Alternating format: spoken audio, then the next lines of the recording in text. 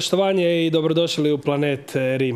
Ovaj petak ćemo posvetiti vrlo važnim temama, a definitivno najvažnija tema ovih dana i sljedećih tjedana, mjeseci je svakako cijepiti se ili ne.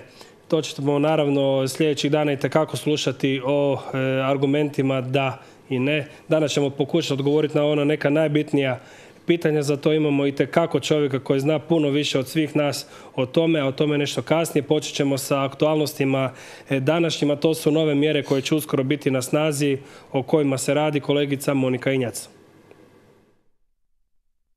Zabrana napuštanja županije u kojoj imamo prebivalište ili boravište na snagu stupa 23. prosinca. Ovo nije odluka kojom se uvode propusnice, već je ovo odluka kojom se zabranjuju putovanja izvan matične županije. A propusnice služe samo da se njima omogući putovanje za neodgodive slučajeve. Zabrana se ne odnosi na nužne djelatnosti i opskrbu, pacijente koji putuju iz medicinskih razloga ili na putovanje s posla i na posao, ako je to neophodno i ne može se obavljati od kuće. Prilikom ulaska i izlaska s područja pojedine županije obvezno je posjedovati iskaznicu ili drugu identifikacijsku ispravu kojom se može dokazati pripadnost jednoj od kategorija osoba iz e, točke 2 ove odluke ili valjanu propusnicu izdanu kroz sustav e-propusnica.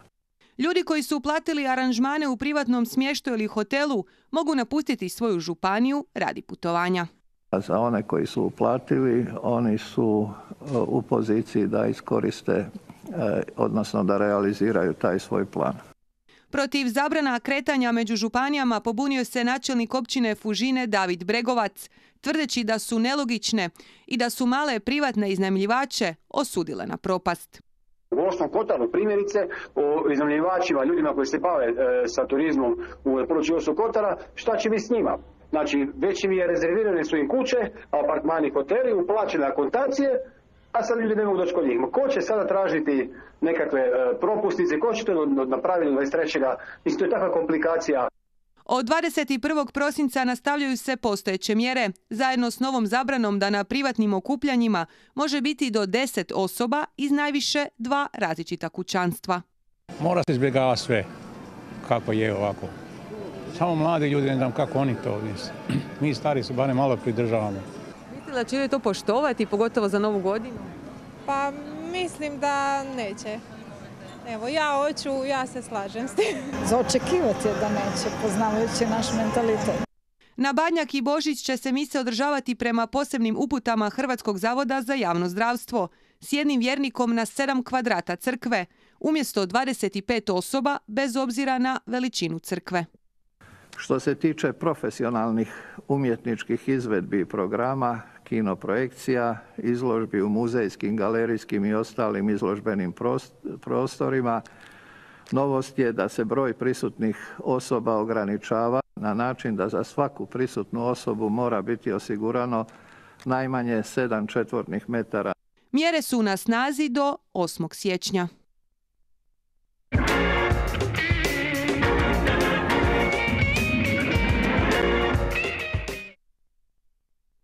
A mi smo danas e, u našem studiju osigurali više od stotinu kvadratnih metara po jednoj osobi, tako da imam još jednu osobu u sebe, a to je profesor doktor znanosti Stipan Jonjić. Poštovanje, dobro večer i dobrodošli u studio Kanala RI. Dobro večer, hvala na pozivu. Pročelnik Zavoda za histologiju i embriologiju Medicinskog fakulteta u Rijeci, jedna od vaših funkcija, možda i ona najbitnija, ali prije svega osoba ovako iz mojeg ugla gledišta od povjerenja osoba koja direktno komunicira ovih dana sa javnošću, e, traženi ste, komunicirate, pričate, dajete svoje mišljenje i što je najbitnije nekako jasno to izražavate. Da li se ljudi trebaju cijepiti ili ne? Ajmo odmah u startu dva slova reći. Hvala na komplimentu. Pa paze, prije nego što odgovorim na to pitanje, rekao bi ovaj, ne zaboravimo da je COVID-19 vrlo opasna bolest da je virus koji izaziva ovu bolest dosta podmukao, narodski rečeno, da puno toga i mi još uvijek ne znamo, ali znamo da kod značajnog broja, broja inficiranih izaziva najteže oblike bolesti. Nažalost, sa vrlo visokim mortalitetom ili smrtnosti. To je vrlo nezgodna, vrlo teška bolest kako zapravo vrlo malo poznajemo. Isto tako, kod onih koji su, koji su samo inficirani, ali prolaze lako to, recimo, akutno stanje, moguće da ostanu nekakvi tragovi koji će trajati dugo vremena. Tako da i mlađi trebaju razmišljati o tome, a ne prihvaćati nekakve argumente lajka ili ljudi koji ne znaju što govore, da se radi o bezopasnoj bolesti koja je ravna običnoj prehladi i sl. Toliko o tome. E sad, da li se cijepiti ili ne? Pa ja ne bi ovdje bio ili ni, ove, ove, dane govorio i ne samo ja, nego brojni moji kolege, da ne mislimo da na neki način naša i pa hoćete i misija kao znanstvenika da o tome govorimo javno kako bi zapravo ukazali na potrebu cijepljenja da je zapravo e, u situaciji u kojoj mi nemamo gotovog lijeka, puno kompanija radi na razvoju lijeka i tako dalje, istraživanja. Međutim, za sada mi nemamo nekakav lijek za masovnu upotrebu. Ono što nam ostaje da se riješimo ove, ove stvarno teške, teškog stanja koje je ugrozio ne samo pojedince, nego države, gospodarstvo je stavio na koljena, zapravo ostaje nam cijepivo. Cijepivo je, uvijek ponavljam istu mantru, cijepivo je nešto najveće što je medicina ikad napravila i spasilo je više ljudskih života nego bila kakva druga aktivnost, uz naravno higijenu, bolji život i sve.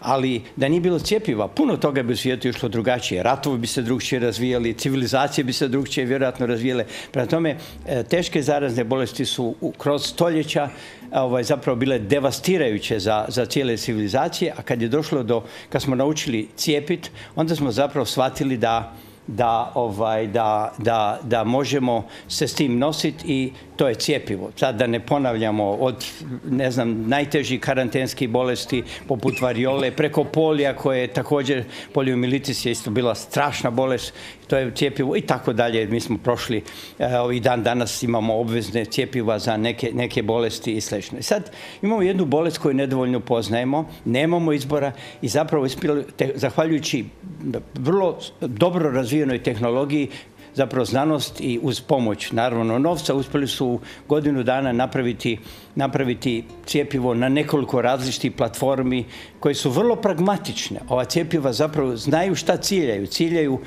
vrlo najosjetljiviju točku ovog virusa, to je onaj famozni šiljak na površini virusa. Virusi su e, čestice koje ne, ne mogu replicirati, ne mogu se dijeliti izvan stanice za razliku od bakterija. Prema tome, ako spriječimo da virus ulazi u stanicu, mi smo zaustavili infekciju. I to je zapravo cilj ovog cijepiva i većine ovih cijepiva. I vi ste rekli, možda ja se ispričavam što vas prekidam, e, dok gledamo kadru, evo ovo su kadrovi od pred kojih sati nešto sitno vremena u Americi kada se cijepio i potpredsjednik. E, ono što je bitno, rekli ste u godinu dana smo stvorili tako jedno moćno cijepivo koje će se cijeli svijet cijepiti s njime. I to je možda jedan argument onima koji se ne žele cijepiti. Da li je to dovoljno vremena da budemo sigurni u to cijepivo i njegovu učinkovitost? Apsolutno. Godinu dana za ovaj stupanj razvoja tehnologije jednako desetinama godina prije, samo 20 godina. Hoću vam reći, ovaj, e, e, većina ovih cijepiva su napravljene na tehnologiji koje su testirane desetljećima skoro. I bile nezamislive unazad nekoliko Naravno, nisu sve one testirane na, kao, kao ovaj, cijepiva za humanu upotrebu, ali kad se vidjelo, kad se, kad se došlo do toga da zapravo COVID postaje ne ono što se iz početka mislilo, neka obična gripa, nego postaje, postaje vrlo, vrlo, je vrlo, vrlo opasna bolest koja će staviti na koljena i gospodarstva, ne samo pojedince i slično, onda se zapravo išlo ubrzano i tada iskorištene su i te nove tehnologije. Zapravo, zapravo ovaj, nisu sve nove, ima, ima, ima cijepiva koje su zasnovane, utemeljene na klasičnim, ajmo reći, starim tehnologijama, vjerojatno će i one biti dobre. Tako da u svakom slučaju e, dobro je to imamo tehnologija u suvišku na kojima se temelje cijepiva, jer i aplikacija cijepiva, kao što gledamo sad na televiziji, nije jednaka svuda u svijetu. Negdje gdje imamo dostupnu tehnologiju, e, prijevoz i sve medicinske službe ovaj, i pothlađivanje cijepiva možemo raditi ovako kao što vaši gledatelji sad gledaju, a negdje ćemo morati to cijepivo staviti u nekakvu torbu sa nekakvim malim hladnjikom i otići u najzabačenije selo u Africi, Južnoj Americi ili bilo gdje na svijetu. Prema tome, to je nešto jako dobro, nešto što, što je se svijet... Naravno, kad govorimo o cjepivima, moramo shvatiti, neko kaže mi ne znamo dovoljno cjepiva. Mi ne znamo dovoljno cjepiva, to je živa istina. Nikad ne znamo dovoljno. Ali mi znamo dvije stvari. E, cjepiva koja su sad odobrena i slično su sigurna, onoliko koliko, koliko bilo šta može biti sigurna i i najvjerojatnije na temelju istraživanja koji su potvrdile regulatorne agencije poput britanske, sad uskoro će i evropska i FDA američki, su potvrdile da je zapravo te, to cjepivo e, testirano na način koji jamči zaštitu ljudi koji će biti cijepljeni. To je puno. 40% se ne želi cijepiti, 30% će čekati, kako se kaže laički, da se cijepi njegov e, susjed, 20% ono što mene možda zabrinjava, vjeruje da se u cijepivu nalazi e, neki čip ili nešto slično pa se neće cijepiti. E, kako komentirate te podatke? Čujte, prije svega drago mi je da, da naš sad cilj treba biti društva svih da ovih ovi koji će se cijepiti, oni su zapravo ambasadori cijepiva u svojoj obitelji, u svojoj okolici. Ovi koji se nečkaju, e, na njih mi svi skupa trebamo zapravo neki način pozitivni mjer. Ne možete nikoga natjerati nešto. Znači, moramo im govoriti istinu. Dakle, moramo govoriti da je teška bolest, da cijepiva nisu bauk. Razumite? Jer govorimo o štetnim posljedicama. Mislim, e, teoretski gledano, ovaj, e, moj put od, od kuće do studija je bio jednako riskantan jer moglo je neko auto izgubiti kontrolu pa me pogaziti. To ću reći, mislim, o tim nekakvim rizicima se govori e, potpuno imaginarno. Naravno da, da sve što uzimamo nije, ne može biti totalno bezazleno, ali zato postoje sistemi. Evo opet gledamo, ovaj, gledali smo gdje, su vrlo blizu liječničke službe, ne daj Bože se dogodi nekakva alergijska reakcija koja može biti gora, poput anafilaktičke reakcije, onda će reagirati medicinske službe. Tako da da, moj, moj odgovor odgovor je da cjepiva e, u ovoj fazi razvoja imaju sve atribute koji bi trebali biti dostatni za zaustaviti pandemiju. Ali nećemo je zaustaviti, to je problem, ako se ne procijepi dovoljan dio pućanstva. I taj dovoljan dio, koji je to? Neko kaže 50, 60, 70, 80. Koji je onaj minimalni, minimalna granica koju bi trebali doseći da kažemo pa, da smo sigurni? ja o tome ne znam dovoljno, ali po nekakvim kalkulacijama i iz onome što čitam, barem 70% bi trebali procijepiti da bi mogli, da bi mogli sigurno ući u sljedeću, recimo, zimu, odnosno jesen. Sigurni. Ovaj, naravno, to nije to nije broj koji je lagano izračunati jer ovaj, ovaj, ova bolest je, ovaj virus je vrlo neugodan jer mi znamo da je, da je vi ste možda rezistentni, nećete imati nikakvih problema, pa čak ni vrućicu, a ja mogu imati teških problema. Čak i ako imamo, nemamo istu dobu, ali recimo, prema tome ima puno toga što mi još ne znamo i zato nam treba vremena da bi naučili tu bolest, naučili patogenezu, kako bi neko sljedeće cijepivo možda ciljalo neki dio virusa koji će ga zapravo u konačnici iskorijeniti. A mi za sada ciljamo ne da iskorijenimo virus, nije to nam privatni cilj, nego da zaustavimo i da zaštitimo ugrožene populacije i spriječimo širenje. Ja predlažem sada da pogledamo i anketu, danas smo napravili na Riječkom korzu, odnosno Friška je praktički dva sata nema od te ankete, pa da vidimo šta kažu naši sugrađani, hoće li se ili neće cijepiti. Evo ću razmisliti, nisam siguran. Zašto? To je neprovjereno još, niko ne zna o čem se radi tu. Ja ću među zadnjima. ne znam još. Nisam odlučio. Oko čega se dvoumite? Da. Ne znamo ništa o ovome i tako. Hoćete li se cijepiti? Ma zašto vi? Koji razlog? Više nemaš pojma o životu. O bili ili ne bi. Sad pričaj ovako, sad onako.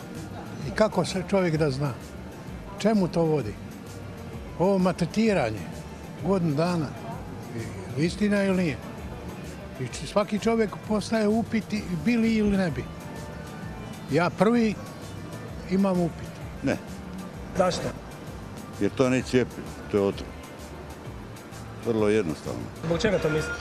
Pa niste vidjeli karikaturu sa štakorima, gdje se vesele i kažu, a ovaj put će se cijepivo testirati na ljudima. To su otrovi moderne tehnologije koje nisu ničim dokazane, ničim potvrđene. Ne znamo o čemu se radi. Ne dok to malo se ne, ne krene, ne. Mislim, ta cijepiva nismo sigurni kako će to izgledati, ni ne krene taj prvi val pa da vidimo kako to ide. Još nisam odlučila. Neću zato jer sam kao dijete imala posljedice od cijepljenja i ja više neću se cijepiti. Žao mi je. Neću vjerojatno odmah u prvom valu se cijepiti, malo ću se čekati da vidim uh, nus pojave što se dešava i kakve su reakcije na cijepivo, ali s vremenom ću se sigurno morati cijepiti s obzirom i na posao koji obavljamo u turizmu. Neću. A zašto? Ne znam zašto. Nemam pravi razlog zašto ne, jednostavno neću. Evo. Je to u redu? Ne. Zašto? Nisam se do sad cijepila pa neću ni sad. I to je to. Nemam neku ovoga konkretno e, znanstveno objašnjeni razlog. Ne, neću se cijepiti, nisam se cijepila ni protiv gripe, evo pa za sad ne razmišljam o tome. Iskreno ne znam, ali mislim da da. Oko čega se dvumiš? Zašto? Zbog čega? Daj, ne. Pa iskreno ne znam, nekako mi to sve izgleda lažno. Ti, koje je tvoje mišljenje? E, pa kad dođe cijepivo, e, ja se nema šanse da se cijepim zato što ako znaš što će oni nama staviti u to cijepivo i možda se cijepim tek nakon godinu dana kad e, vidim kako to djeluje na ljude. Iskreno, ja sam malo, kak se zove, preplašen s ovim svim mišljenjima što se piše po medijima i portalima da su, da će neki čipove stavljati sve unutra. Iskreno, moje mišljenje, ja se ne bi cijepio. Za preporučiti ako je ovoga djelotvorno, zašto ne? E, još uvijek razmišljam, mislim da da, ali eto. Mislim na kraju da čega hoću- se? Zbog čega?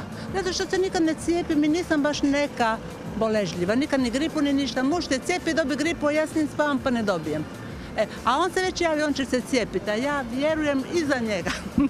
Nek mi on bude pokusni kunić. Evo, e, dosta veliki uzorak e, ljudi. Kako komentirate anketu? Da, jako, jako zabrinjavajući recimo odgovori. Nadam, nadam se da statistika na velikom uzorku će biti puno, puno bolja jer ovo bi bilo strašno razočaravajuće. Naime, ovo govori da, da mi kao društvo nismo e, iskomunicirali sa sve naše telefone, sve naše medije i slično, mi zapravo taj problem nismo iskomunicirali uopće, jer, jer da jesmo iskomunicirali, onda nam se ovakvi dogovori, odgovori ne bi događali, barem ne masovno. Naime, ovdje, da se razumijemo, što se tiče e, e, tehnologije proizvodnje cjepiva i svih postupaka, vjerojatno je ovo cjepivo e, više testirano, efikasnije testirano nego i jedno dosad. Naime, ovaj, u tom smislu nije preskočena ni jedna faza istraživanja. Dakle, ovaj gospodin spominje štakore, odnosno mislio je na eksperimentalne životinje. Naravno da to, to je vrlo važna faza testiranja i neke faze su prošli u onoj prvoj fazi testiranja prije što je išla druga faza, pa onda tek treća faza u podfazama i tako dalje. Prema tome, kod jednog od ovih cjepiva čak 40 i nešto tisuća ljudi je zapravo dobilo cjepivo i oni su zapravo svi svi testirani na možebitne promjene koje bi, koje bi ovaj, a, a, uključujući nekakve nuspojave koje bi, mogli, koje bi se mogle dogoditi. Ali ponavljam, a, s, s javnošću treba komunicirati otvoreno. Moguće su nekakve nuspojave. Nuspojave, da, Nije, jasno. nije Koji problem. Pa ponavljam, pa pazite, mislim, ponavljam, e, e, ali rizik za to je vjerojatno puno manji nego voziti se autocestom od Rijeke do Zagreba. Da, da. Dobro, Da se razumijemo, prema tome, a, a, mislim, nijedna naša aktivnost nije bez nekakvih, nekakvih, nekakvog potencijalnog rizika, ali a, ono što barem ja znam i moje kolege, rizik što se tiče ovoga cjepiva je vjerojatno manji nego velike većine, e, velike većine cjepiva koje su do sad napravljene. Vi, vi ste mladi, ne sjećate se tamo negdje rani 70. kad je došlo do prodora one epidemije velikih boginja, prvo na Kosovo pa dalje, mi smo se na brzinu morali cijepiti, oni koji nisu bili cijepljeni. Čujte, 17 miliona ljudi je bilo u toj državi, ja mislim, tako nešto. Mislim da se velika većina procijepila unutar par tjedana. Hoću reći, pazite, eh, bilo je jako puno nuspojava, to je zapravo drugi virus koji je sličan tom virusu velikih boginja, koji izaziva nekakve neugodne stvari, ali ali to je opasnost koja zapravo, koja, koja zapravo vlast i sve nas tjera da, da, da kažemo e, cijepivo služi zaštiti, za- zaštiti većine ljudi. A sad, je, sad živimo u puno kvalitetnijim uvjetima, bolji zdravstvenu skrb. Šansa da se nešto strašno dogodi uvijek postoji, ali ona Svedena na najmanje moguće Ne samo svedena, nego je ono nemjerljivo ovaj, e, e, ovaj, manja nego e, nego, da, nego, nego ako bi u odnosu na stanje koje bi dogodilo ako bi pustili bolest da se širi. Ja bih volio još par pitanja da odgovorimo. Da. Dosta ih imamo, naravno, neće moći sve ovaj, otvoriti. Za one ljude koji ne vjeruju da li korona uopće postoji ili ne, još ima takvih. Kolega je pustio kadrove malo, pa možemo slobodno gledati kadrove e, sa onog najgoreg, u biti najgoreg pod navodnike odjela, ali je, ovo je odjel s kojega ljudi ne preživljavaju, ovo je odjel s kojeg ljudi umiru, pa neka slobodno ljudi gledaju ove kadrove dok razgovaramo o e, našem e, sljedećem pitanju. To je, postavlja se pitanje e, da li se proizvodi ovo cijepivo od embrija, od e, fetusa, ljudskog fetusa. Da, ima li istine u tome ili ne? Ma pazite, ovaj, da se mi razumijemo, to je krenulo od, a, od činjenice da je, da je ovaj, ovo cijepivo kao i masu drugih cijepiva, zatim bioloških lijekova a, i slično zapravo povezano sa jednom staničnom linijom, dakle staničnom linijom koja se zove HEC, koja je porijeklom, embrionalno porijeklo, porijeklom iz humanog embrija. Negdje 70. godina u Nizozemskom u Leidenu jedan doktor je zapravo uzeo iz, iz humanog embrija ovaj, eh, nakon pretpostavljam ovaj eh, eh, pobačaja legalnog jer je to bilo do- dozvoljeno uzeo je i, uzeo je tkivo je bilo dozvoljeno on je zapravo nije mogao ništa s tim stanicama samo od sebe nisu to stanice direktno on je uzeo te stanice i inficirao ih drugim virusom koji kaže se može transformirati. Stanice su naše smrtne. Ako stavimo stanice u kulturu, one će brzo odumrijeti.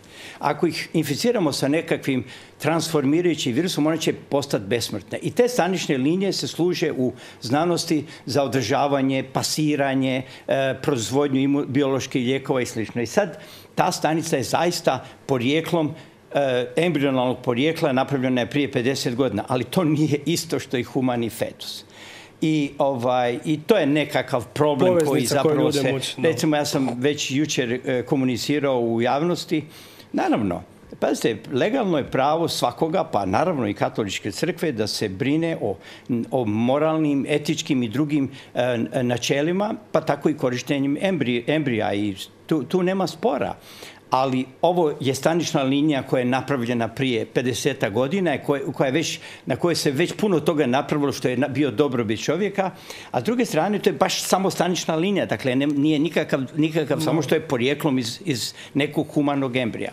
E sad, ovaj, e, ponavljam, pravo bilo koga, ne samo crkve, da se o tome... dvoji, naravno, to je u redu, u pitanje, To je u redu i to, to ne može niko dovoditi u pitanje. Ono što je, recimo, američka vlada, odnosno aktualna administracija, američka Trumpova je isto tako zabranila, to sam opet neki dan rekao, zabranila uporabu huma, tkiva ili stanica humanog embrija, sve. ali nisu zabranili korištenje stanica koje su već napravljene prije desetke godina. Tako da, a što se tiče da tu ima nečeg od tih stanica, zapravo isto nema ništa, jer se taj, u njima se pasira virus koji služi kao nosač ili ti vektor e, antigena, odnosno gena koji je porijeklom od ovog e, virusa koji izaziva COVID-19. Sad se zove vektor. I to je sve što ove stanice služe. One služe kao, opet koristio sam riječ, pa ću sam sebi citirati, kao tvornice tog virusa kad se namnoži dosta, on se purificira ili pročisti i koristi kao cjepivo. To su neka cjepiva i na ta cjepiva je bila objekcija e, crkve. Međutim, i crkva je tu vrlo, vrlo ajmo reći, ovaj, oprezna, jer oni su rekli da, ali ovo je, ovo je, ako, je, ako se radi o, strašnoj bolesti, prije svega Sveti Otac je pozvao, pozvao ovaj svjetske lidere da bi trebalo osigurati e, cijepivo pod istim uvjetima za sve ljude ovog, ovog svijeta. To je velika stvar, važna izjava. A isto tako ovaj, Papinska akademija za život, koliko je meni poznato, također ima te e, situacije u kojoj se može napraviti iznimka kad je, kad je ugrožena velika, Većina e, velika ljudi. populacija i tu zapravo ja, ja mislim da će, da će se taj dio konflikta može bitno riješiti, ali kažem još jednom, dobro je dok se ljudi, dok ljudi brinu ili, ili, ili crkva ili neko drugi o tim etičkim, moralnim načelima, jer u protivnom uvijek se može dogoditi urušaj. Nalazili se ovim cjepivima neki čipovi. Vidimo da mladež danas komentira da čitaju i po medijima i po portalima i ostalo da će Da. nas e, čipirati. Da, A ne je- samo mladež, već ima naravno i poznatih osoba, Da, ja moram priznati da to malo mene intrigira, jer pazite, vi znate šta su čipovi, jel? I, i svu tu tehnologiju komunikacije, malte ne sve nalazimo na razno raznim stranicama, to, to je nešto nevjerojatno. I uopće ne mogu shvatiti od kud obrazovani ljudi mogu e, tako nešto ovaj, izjaviti. Razumite? Dakle, ja ne, ne, stvarno ne mogu to komentirati više od toga, jer, jer ja, ja mislim da je problem e, u lošoj komunikaciji. Mi svi mislimo da dobro komuniciramo, a mi smo se zapravo pretvorili u komunikatore sa svojim, sa Telefonima. svojim a, telefonima i mi zapravo ne komuniciramo jer da je nekakav učitelj u gimnaziji objasnio to svojim đacima, oni bi vrlo brzo shvatili da to ne može biti istina. Shvaćate? Tako da mislim da je to dovoljno. Moje, moje osobno stajalište koje je sasvim nebitno je da smo već možda i zakasnili, da je trebalo biti sve već spremno. Međutim, jutro sam i čuo izjavu od kolege vam Capaka. E, rekao je da ćemo uskoro krenuti sa kampanjom e, za cijepljenje. Naravno, to uskoro, ako se počnemo cijepiti 27.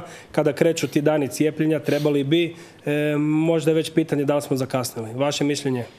Pa dobro, ja bi se mogao s vama složiti da bi bilo bolje da je, da je službena kampanja počela i puno prije, upravo radi ovoga što smo sad govorili, ali u takvoj situaciji bolje ikad nego nikad i i ovo moje sada i mojih kolega ovaj, gostovanje kod vas i kod drugih e, televizija ali, ili, ili izjave u drugim medijima nisu ništa drugo nego zapravo naša kampanja. želja da sudjelujemo neformal, u neformalnoj kampanji kako bi zapravo što više ljudi e, ovaj, uvjerili da je cijepivo nešto, ne nešto što mi želimo, nego nešto što može nas kao društvo spasiti i, i ovaj, Koja nema alternativu. Nema Nema alternative, da, upravo tako, apso- apsolutno. Ali ne samo to, nego spasiti naše najbliže, spasiti naše gospodarstvo. Zamislite situaciju da se mi procijepimo ispod 50% i da sljedeće jesen ili ljeto dočekamo sa, mi nećemo imati ni turizma, ni jeseni, ni...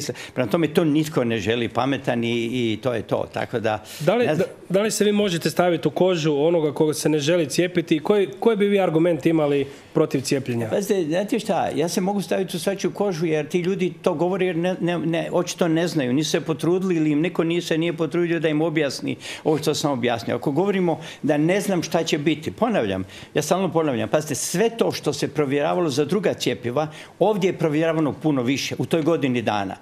Testiranje cjepiva u trećoj fazi je napravljeno efikasno zato što se epidemija širila i ljudi su bili taman prije cijepljeni u toj trećoj fazi i zapravo to je bio eksperiment koji je bio fantastično Tempiran. pogođen, tempiran da bi se napravio. Prema tome, ovaj, nem, nem, nemam ja argumenta. Pazite, s ljudima treba pričati. Evo, recimo, nuspojave. A ako ne znam ja kakve nuspojave.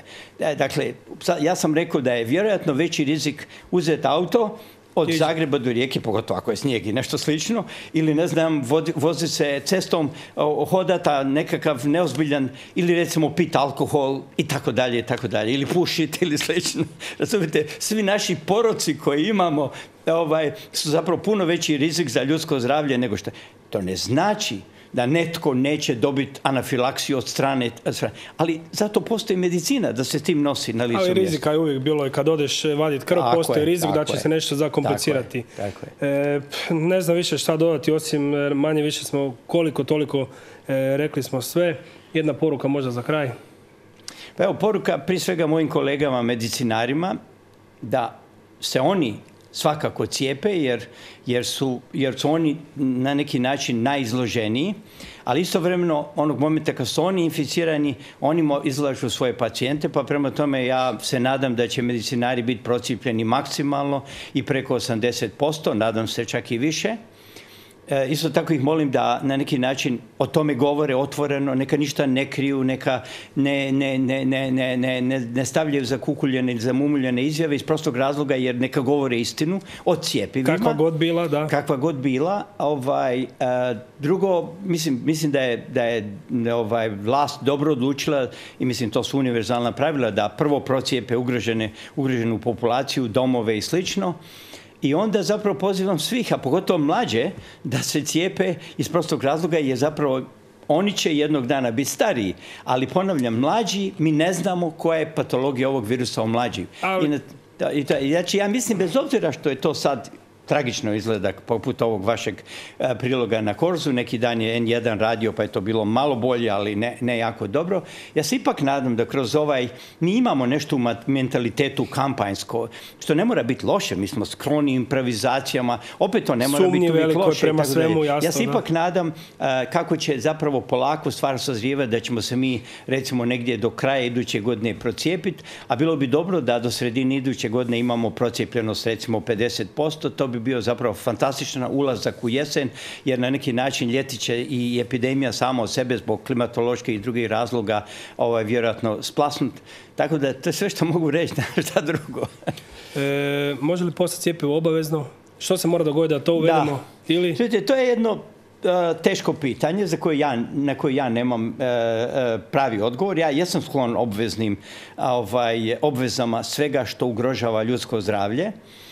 Ali, Mislim, danas se moraš cijepiti protiv nečega ako želiš dijete upisati u vrtić i e, ostalo. Ali Mislim, recimo da mi nismo skloni obaveznim cjepivama. Ja znam da recimo Njemačka razmatra i tu mogućnost.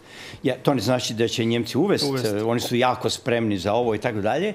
Međutim, ako dođe do takvog takvo drastičnog, e, drastično slabe procijepljenosti, a epidemija se proširi, Doći će postane do još toga. gora, onda mislim vlasti neće imati izbora nego je napraviti obvezno cjepivo jer vi nemate pravo ugrozi- ugroziti cijelo društvo samo zato što ne želite znam se cijepiti. Hvala vam puno na gostovanju, puno smo toga rekli u malo vremena. Nadam se da se vidimo još e, puno puta do kraja, da ćemo raditi na ovome svi zajedno. Hvala Vrlo vam. rado, hvala vama. E, Čuli smo eto doktora Jonjića na temu naravno cijepiti se ili ne, a sad ostajemo ne došli u sličnim temama, ali također jedan apel ide sa strane policije o čemu nakon PPA.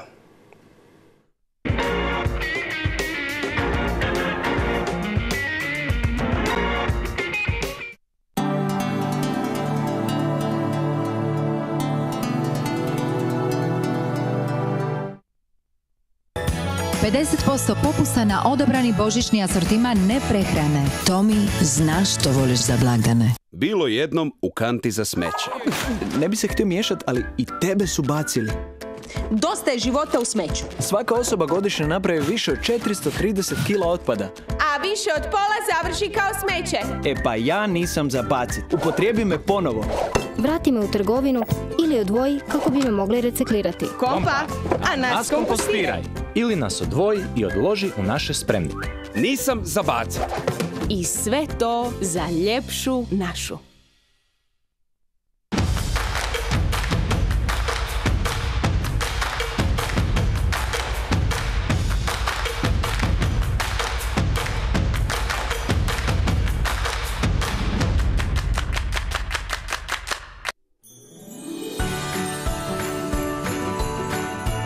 Čestit Božić i sretnu novu godinu želi vam Gospoja.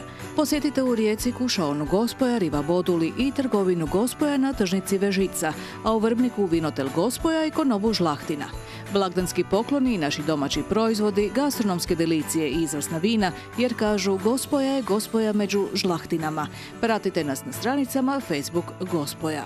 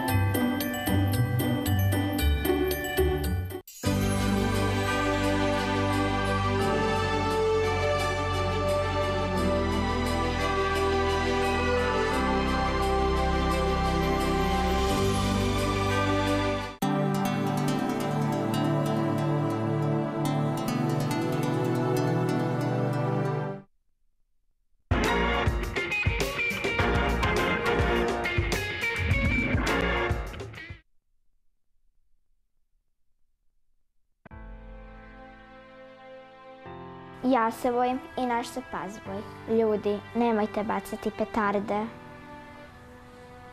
Petarde i pirotehnika nisu igračke. Mogu uzrokovati teške opekline i rastrgnuća. Veselite se blagdanima u okruženju svog doma u miru i ostanite zdravi. Ostanite sigurni. Želimo vam mir i svako dobro.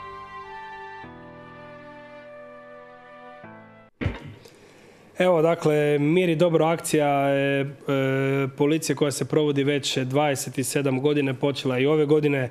A o tome ćemo pričati sa policijskim službenikom i službe za javni red e, Policijske uprave Primorsko-Goranske, gospodinom Robertom Tometićem. Poštovanje i dobrodošli. Hvala na pozivu i pozdrav vama i vašim gledateljima. 27 e, godina, impozantna brojka već da jedna akcija toliko dugo traje. Pa gledajte, 27 godina već traje operativna akcija Mir i dobro. Ona je preteča, u stvari ona je e, organizirana u vrijeme blagdana Božića i Nove godine. Tu je prvo i temeljni cilj te akcije sprečavanje zlouporabe vaternog oružja, eksplozivnih tvari, pirotehničkih sredstava i tako dalje. Kako bi se smanjilo, odnosno kako bi se eliminiralo ozljeđivanje ljudi i narušavanje javnog reda i mira u bilo kojem obimu. Tako da evo i ove godine nastavljamo s tom akcijom. Prošle godine je ona započela 13. prosinca, završila je 8. siječnja. Ove godine evo započeli smo provoditi 15. prosinca, završit će 10. siječnja. Mislimo da će biti ove godine bolje nego prošle godine jer ako analiziramo ovaj 2019. na 2020. onda možemo, možemo reći da smo zadovoljni iako ne može čovjek biti zadovoljan niti mi kao služba ako, i dan, ako imamo i jednog I ozlijeđenog, tako je. A prošle godine smo imali e, jednog ozlijeđenog i to nažalost dijete koje nije koristilo sredstvo, ali je bilo u blizini gdje se koristila pirotehničko sredstvo i ono je lako ozlijeđeno na svu sreću. Isto tako, ovaj, e, sagledavajući prošlu godinu, odnosno pretprošlu godinu, imamo pa mogu reći čak i drastičan pad oduzimanja oduzimanja ovaj, pirotehničkih sredstava koja se ne bi smjela koristiti, tako da smo prošle godine oduzeli tijekom provedbe, provedbe akcije osam pirotehničkih sredstava, odnosno pretprošle godine, znači 2018. na 2019. smo oduzeli 97, što se vidi da je, da ipak, da je ipak ogroman pad. Isto tako je i u raznom streljivu gdje smo oduzeli ove godine, prošle znači za blagdane 52, godinu prije 204, što je očito ovaj, ima neke rezultate pozitivne, ima jedan pomak. Tako da očekujemo da će se to nastaviti, taj trend pozitivan. Ne? Uh Ali evo danas jedna novina u Saboru, ili tako? Možemo malo o njoj. Pa evo, ta novina koja nam stupa na snagu od 1. siječnja, e, pa neću reći da, u stvari neće zahvatiti ovogodišnje blagdane.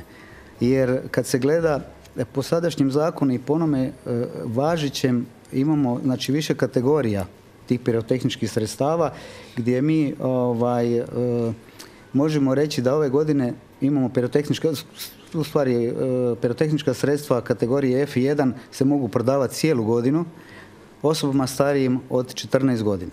Ali kad pogledamo... Ali kad gledamo ovako ove koje sada gledamo na našim...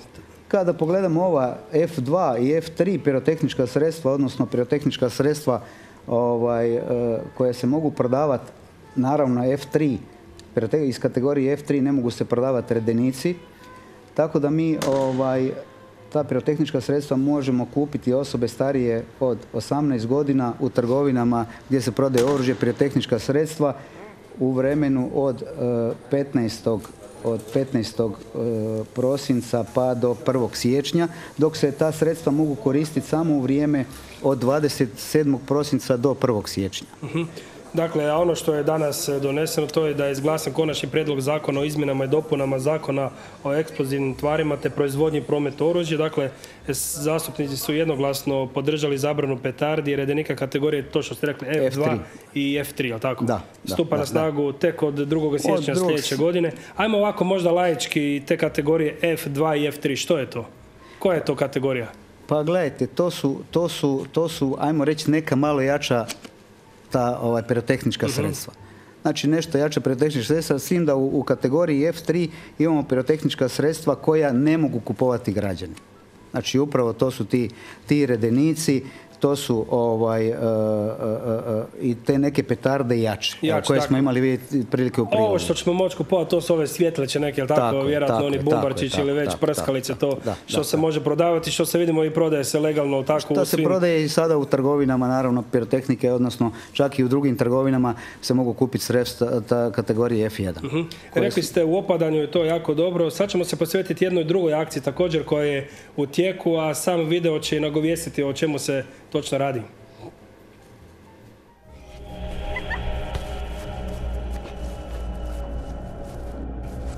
Ovo je moglo pronaći i nečije dijete.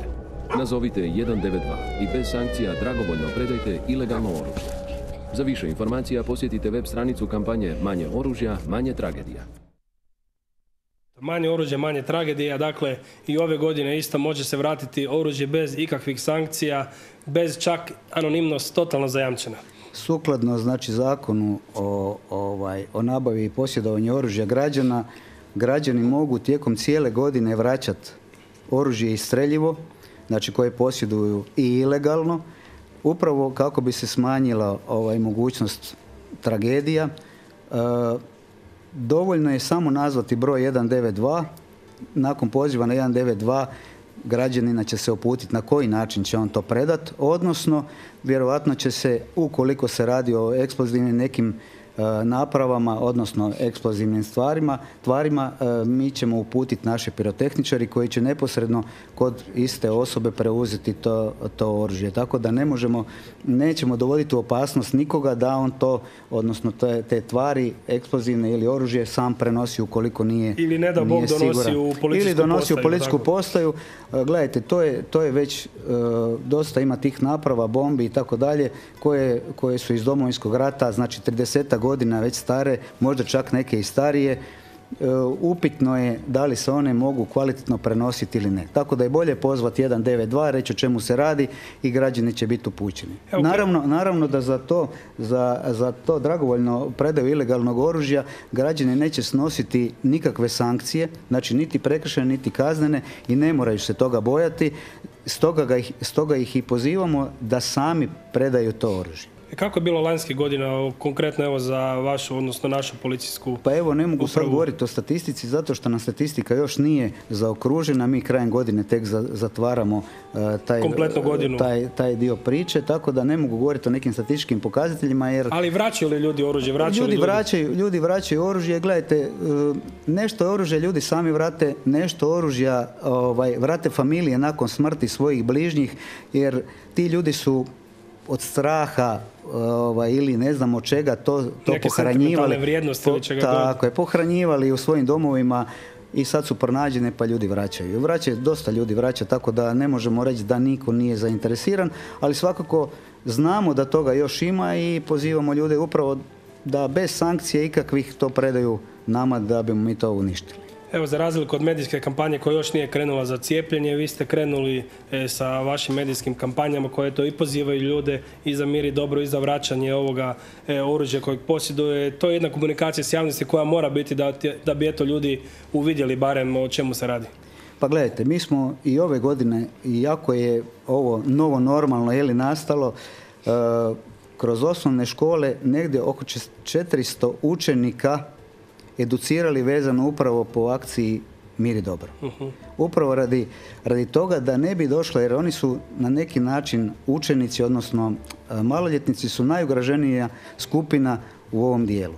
Znači oni ne znaju još djeca ili maloljetnici ili djeca ne znaju da te petarde nisu igračke, nego da je to opasno, da može nanesti određene ozljede, da li na očima, licu, rukama i tako dalje, koje su kasnije mogu ostati trajne. Prema tome mi smo kroz, kroz taj dio edukacije, kroz škole e, pokušali eto utjecati na to da smanjimo bilo kakva, odnosno da eliminiramo bilo kakva stradavanje djece. Kakav je vaš dojam onako osobni, ne sad službeni, ne govorite u ime policijske postaje, nego onako osobno vaše zapažnje kroz ove godine, taj broj petardi, eksplozija na ulici i ostalo, odnosno eksplozija, govorimo te pirotehnike, povećanje, smanjenje. Moj, moj dojam je kod da se nekako smanjuje to Pa gledajte, kod da su ljudi osvješteni. Ako uzmemo neko razdoblje, mogu reći i, i ovaj, općenito, moje gledanje je upravo kao i vaše na svetu skupa da je to jako, jako puno palo.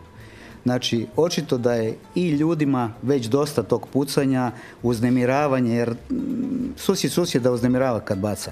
Ja vidim u gradu, živim u gradu, pa vidim da nema više kao nekad između zgrada onog bacanja petardi, ne znam, ekstremnih nekih e, ovaj, e, Petardi, ekstremnih petardi, da, ili topovskih udara. većina F3 već i tako dalje, malo jače kategorije, ali kažem, e, zasigurno da je palo. I ja očekujem da će ove godine biti još manje toga, ne samo zbog situacije u kojoj se nalazimo, nego upravo zbog te svijesti građana da to, da to nije način da se eto proslavi e, ti blagdani koji, koji, Koji pozivaju na mir pozivaju na mir i dobro, upravo kako je i sloga naše akcije. E, Roberte, hvala vam puno na gostovanju. E, neka stvarno i cijela ova akcija prođe u miru i dobru. Eto, šta drugo vam zaželjeti nego svako dobro u 2021. jel tako? Hvala lijepo i vama također. Hvala vama. A hvala i vama, dragi gledatelji, što ste bili s nama, ako se ne varam, a ne varam se, u posljednjem većini vama radnoga petka, jer posljednji radni petak, sljedeći je već e, Božić, tako da ugodan ostatak današnjeg dana i naravno početak vikenda. Lijep pozdrav i doviđenja.